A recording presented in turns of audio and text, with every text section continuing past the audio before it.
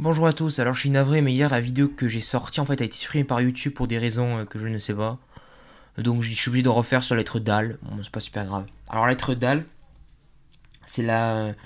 Putain, c'est la huitième lettre, c'est ça, de l'alphabet.